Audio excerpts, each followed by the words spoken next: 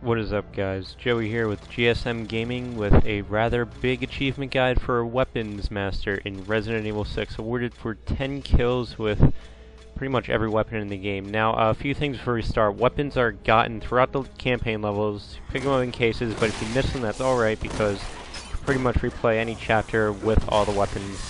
Uh, so if you already beat the game for each person you're pretty much good. Um, the only thing you have to note is that you have to get actual kills. You can't just injure the enemies. That should go without saying. Um, and it doesn't really matter if you quick shot. Any way you can kill an enemy will do you good in here. Um, can quick shot, can snipe. Um, the melee kills aren't really accounted for weapon kills, so that should also go without saying. Um, there are some weapons that you don't have to get kills for, but we're going to cover every weapon that you do. Uh, one thing to note that you could check your progress for this at any time by going to the records menu and going over to the weapons tab. Just make sure you're looking at the number next to enemies defeated and not next to times used. So uh, getting started, the first weapon, the handgun 909. Um, you can get it with either Chris or Jake. Now the handguns aren't really that powerful, but you only need 10 kills with them. Uh, as you can see for this weapon and the rest of the weapons in this video, the top right hand corner you can see the weapon, the name of it, and the bottom left corner you can see the characters you can get kills for that weapon with. That's the half of it. So starting off with handguns, the second handgun is the Picador. It is completely unique to Helena, and again, it's a handgun. It's not that powerful, but uh, you only need 10 kills, so really shouldn't take you that long to get them out of the way. You can do it on any of Helena's chapters. You could also do in the Mercenaries. Um, but campaign's easier in my opinion. The third handgun is the wing shooter. It is my favorite handgun for no particular reason, uh, and it's completely unique to Leon, so shouldn't be hard to get that one out of the way. But uh, moving past those shitty handguns, uh, up next is shotguns. Now the first shotgun is just pretty much called shotgun, and uh, it's a pump action gun, really not that good. Uh, but you do have quite a few choices of people to get it with. You get it with Jake, Helena, uh, Sherry, or Leon. I'm doing it with Jake here. Just running around, killing J'avo as they show their masks.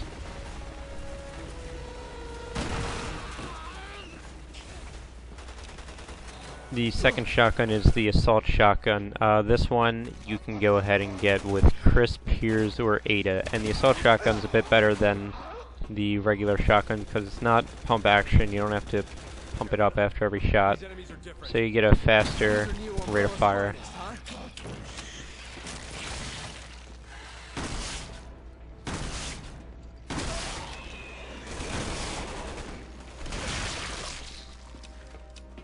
The third and my personal favorite shotgun is the Hydra. The Hydra is unique to Helena, and um, if you haven't gotten the Stuntman achievement yet, then you should probably go ahead and go for it now while you're getting these Hydra kills. Basically, all you have to do is quick shot 20 people with the Hydra. If you already got the Stuntman achievement, then you won't even have to return and try to get kills with it. Uh, but the shotgun, the Hydra is a very good shotgun. Um, and it's also the last shotgun. Moving on after the Hydra are Magnums, and Magnums are extremely powerful. You should have no trouble getting Magnum kills. The first Magnum is the Lightning Hawk. You get Lightning Hawk kills with Leon or Helena in Leon's campaign.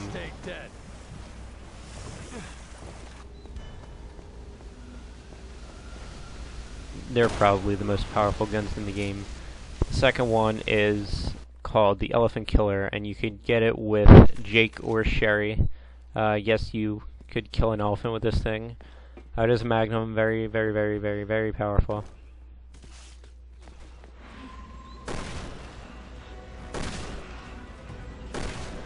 Also has quite a bit of recoil.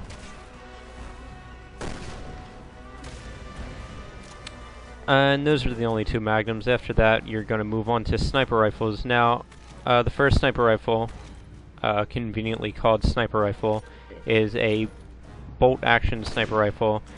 You can get kills with this with Jake, Sherry, or Ada. It's probably easier with Ada because one whole part of her campaign uh, requires you, well, doesn't really require, but um, you play as Ada, pretty much giving protection to Jake, Sherry, all the other cast members. So it's probably easier there. Um, second sniper rifle is a semi-automatic sniper rifle. You can get this with Leon, Helena, Chris, or Piers. We're gonna do it as Piers because he's a sniper naturally. And um, this one is in bolt action, hence the name semi-automatic. Uh, but the third and my favorite sniper rifle is the anti-material rifle. The anti-material rifle is completely unique to Piers. Uh, it also has a thermal scope. Now it doesn't matter if you use the thermal scope or the regular scope. All kills with it will count, and uh, I just have fun killing with this thing because it is extremely powerful.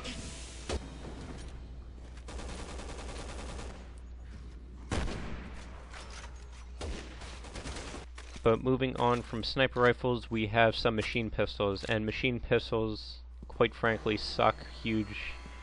Uh, we're not going to go there. But anyway, the first machine pistol is the Ammo Box 50. It is unique to Ada, um, and it is very, very weak, but it is automatic, easy to get kills with, and uh, you shouldn't have that much trouble racking up kills with it, especially since it's her main weapon somehow. Besides the crossbow, of course, which we'll get to. Uh, but the second machine pistol, which is actually worse than the ammo box 50, is the triple shot. The triple shot is completely unique to Sherry, and uh, it has two firing modes. You could shoot uh, single bullets at a time or three shot burst, but quite frankly, it doesn't make a difference because the gun still sucks. Unless you have like a power upgrade for it. But um, play as any level of Sherry, you'll have the triple shot and rack up 10 easy kills with it. Uh, the third and probably best machine pistol is the MPAF. Um, completely unique to Piers. It has two firing modes, automatic or single shot, and uh, again, which firing mode you choose doesn't really matter as long as you're getting the kills with it.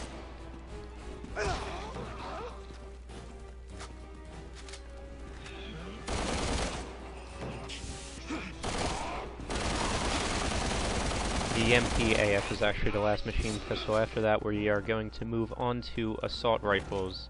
Um, the assault rifle for special tactics, besides having a really stupid name, is completely unique to Chris, and uh, you can rack up kills with it in his campaign or in the mercenaries mode. Um, all assault rifles are pretty hard to aim with, but um, they're not hard to get kills with because they are very powerful. They eat up ammo though, so unless you have infinite ammo, be conservative. The second assault rifle is the Bear Commander, can be gotten kills with, can be used uh, by Jake, Sherry, or Ada. Uh, very strong gun. It does have a grenade launcher attached, but if you use the grenade launcher, the kills will not count as Bear Commander kills. Uh, they will not count as grenade launcher kills either, so beware of that. But the Bear Commander is very strong, very easy to get kills with. Takes down BOWs in one clip, so you should have no problem with that. Uh, the third and last assault rifle, and my personal favorite, is the assault rifle RN.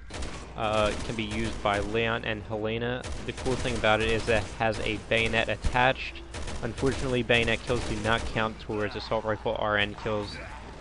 They count as melee kills. But the assault rifle RN is very powerful. Very hard to aim with, just like assault rifles. And uh, shouldn't have too much trouble with it. Uh, but moving on from assault rifles, we have some unique weapons. The first one is the grenade launcher. Now the grenade launcher has three ammo types. Which type you use doesn't matter, they all count as grenade launcher kills. And uh, the grenade launcher in general is very strong, so you should have no problems getting kills with this gun. Um, it's only usable by Chris and Piers, uh, but you have more than enough opportunities in Chris's campaign to rack up kills with it.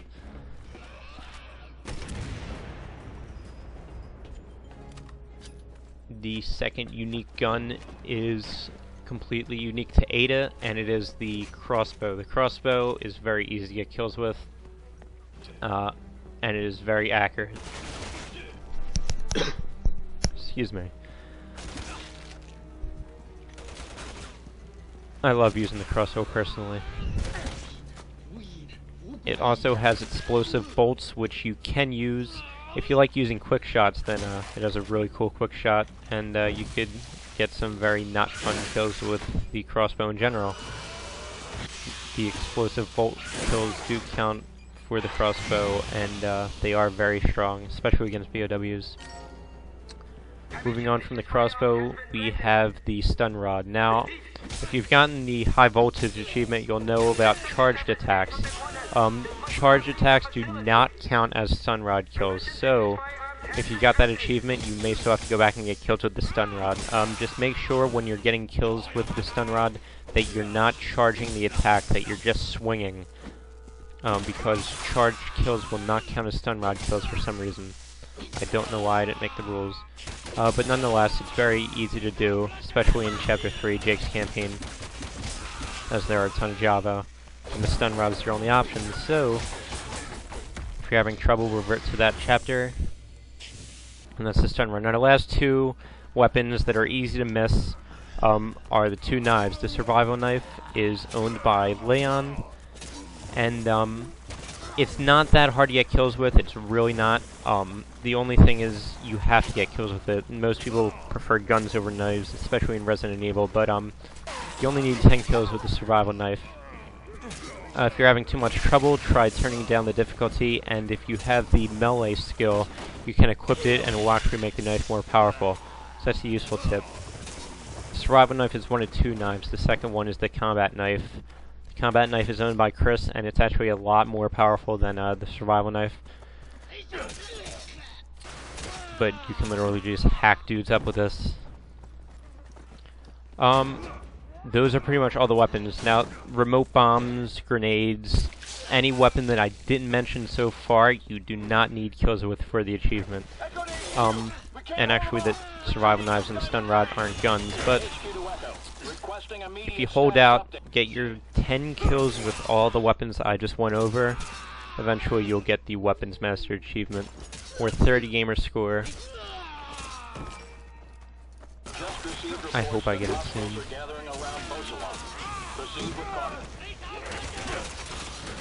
There it goes. Weapons Master. 30 gamer score. Use all weapons in the game and kill 10 enemies with each of them. So thank you guys so much for watching. This has been a journey, and uh, editing this was certainly a bitch. But uh, if this video liked, if you liked this video at all, or if it helped you out at all, please support my channel by leaving a like on this video and subscribing because I plan on making so much more videos like this. I have some good Resident Evil videos coming up. Also, if this video was hard to follow, there is a written walkthrough in the description, so be sure to check that out. Thank you guys so much for watching. This has been Joey with GSM Gaming. Stay tuned.